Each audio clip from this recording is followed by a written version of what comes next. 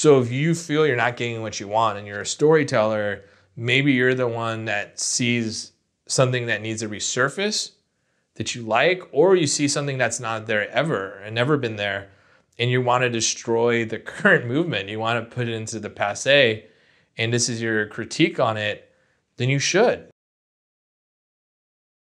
Has Hollywood run out of ideas, Peter? No, because you can't run out of human experiences, and everybody who's ever born looks at the world in a different way. Why do we hear that so much, though? We see it in our comments. We we hear it all the time. That, that it seems that we've run out of ideas. We're only repeating the same story or IP over and over again.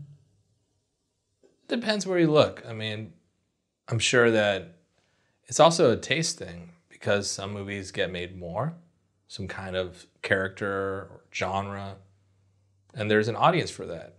But if we're adventurous, just go on Letterboxd. Like Letterboxd is like the coolest website around or app, and it just has so much exploration for movies. And during the pandemic, I created a crime film club where I would curate movies to my friends, and some of them were, you know, in Asia and all around the world. And we, before we hop on the Zoom call, we'd watch one of these movies that I picked, and I used Letterboxd to find them. And every title, I tried to f- pick something that was obscure and nobody's seen in the group because there are some cinephiles that are pretty hardcore.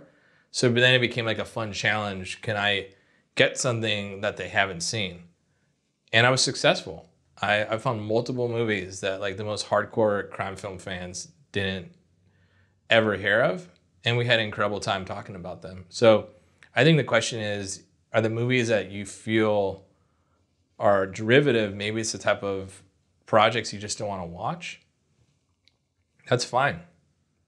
What about, you know, the onus is on you because like there's international cinema, there's incredible storytellers on YouTube, there's so many, you know, really interesting points of view or there's podcasts that have you know started being created in the audio drama space with stories from you know creators that we haven't been introduced to yet but now they're here in a new medium. So I think that line about there isn't enough X or whatever, I think that anybody who's commenting on that, they have a point to some degree because maybe they just don't like what's popular.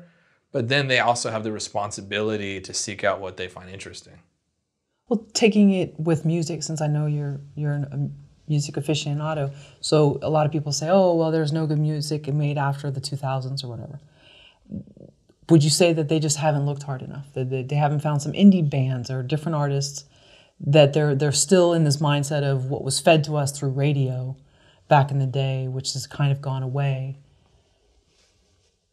I mean, maybe there's a band that they like and they broke up, or there was a movement and that isn't the the dominant one you know the artists are not pushing in that space you know pushing that space or it's not getting a lot of press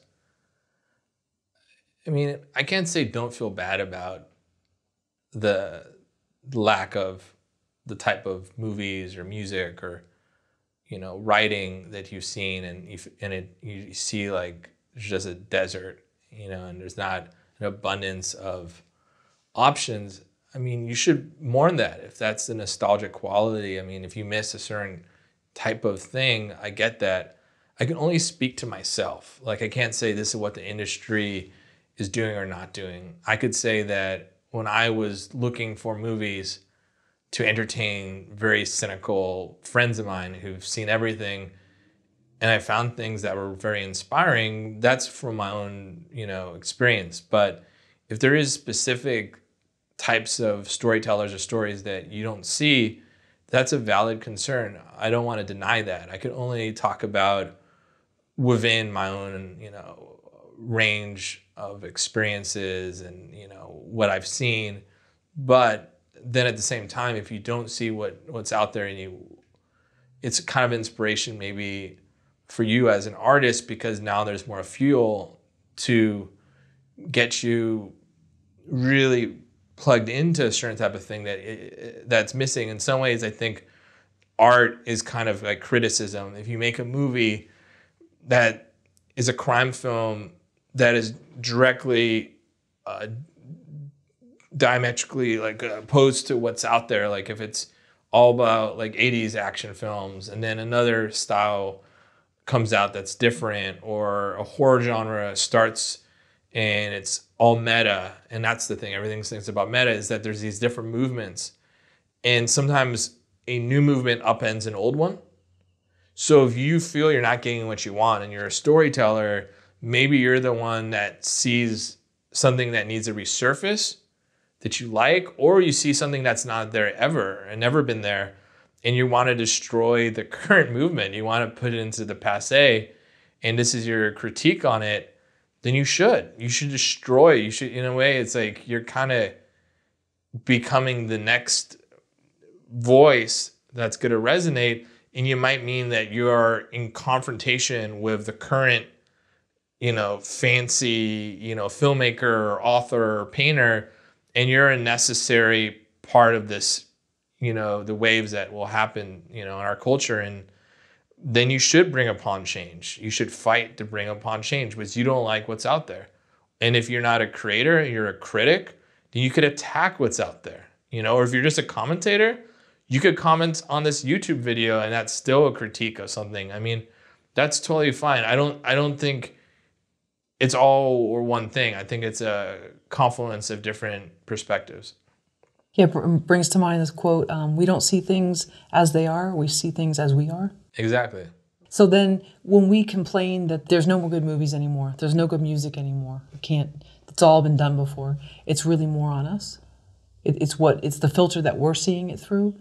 And that maybe that means that we need to tell those stories. Well, I don't think people shouldn't be able to complain about what's out there. I think that's fine.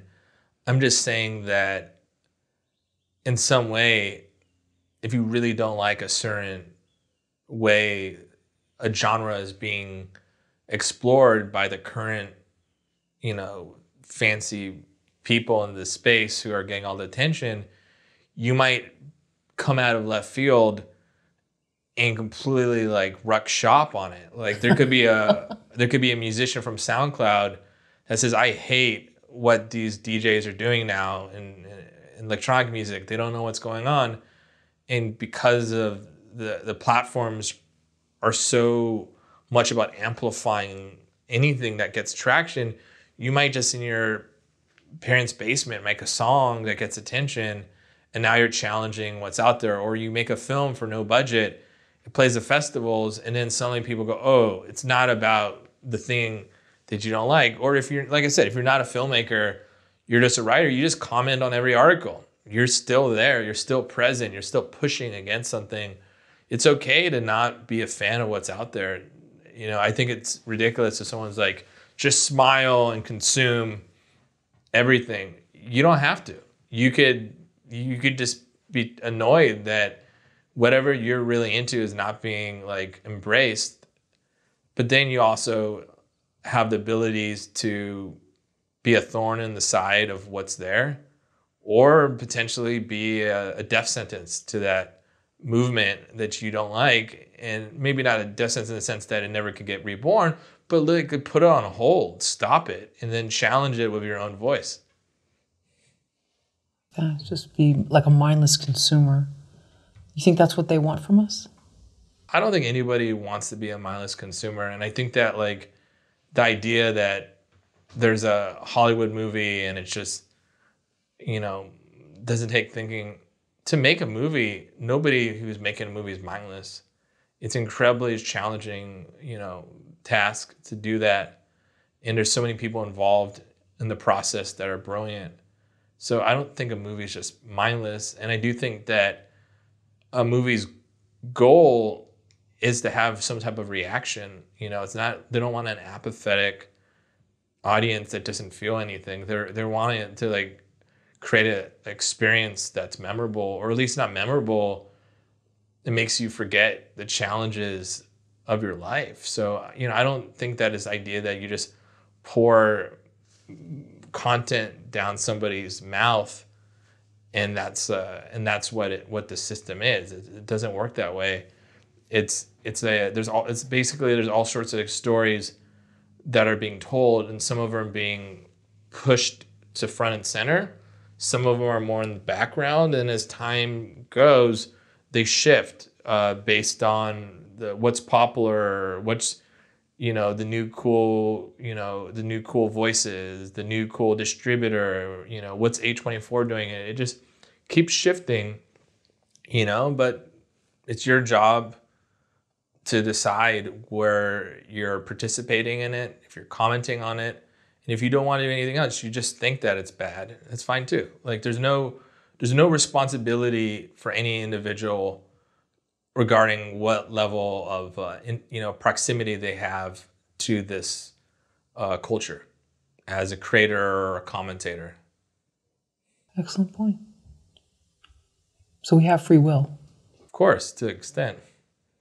And the algorithm doesn't follow us, and I mean, it, it, it depends on how you um, consume content, or movies, or comic books, or I mean, like a, there's a spectrum of ex- ways that you interact with media. Is it physical? Is it you're super nostalgic and you get DVDs and VHS? Are you getting them off Netflix? Are you getting them off Criterion? I just don't think there's like a one size fits all for anybody. And there isn't like just some psychographics that defines a giant chunk where everyone's like, all you do is watch these videos because that's not true. I mean, I listen to certain types of podcasts, uh, watch certain kinds of movies, read certain kinds of journalism. Like, I'm a very specific in that way. And there's other people that will be all about watching video games on YouTube, or somebody's all about food. I think that like there's this idea that like there's the death of uh, what we of what we love, or there's nothing here. Or, I do think that there's ways that journalists sometimes will create an absolute like they'll say it's like so I think they're creating the, and sometimes not all of them, obviously, but some of them have like a frame that's convenient because it invokes conversation. So it's like, how do I st- how do I say something that's bombastic that gets you t- talking? I mean, I know for a little while, uh, years ago, they were saying horror movies are dead. That was like an article. There was a few bombs or whatever. Horror movies are dead. And then I was like, how's that true when the world at times is horrific? When the human experience could just be terrifying and confusing. How could horror movies be dead yet we need an outlet to comment on this complex nature of our mortality? So there's no way. But at the same time, the journalists maybe just want people to talk about we're sick of schlocky horror movies, and maybe that's the protest. That's the, the writing. That's fine. But I just think that these type of frames, on the grand scheme, as much as they're conversation starters, if you take them too seriously, they're also limiting.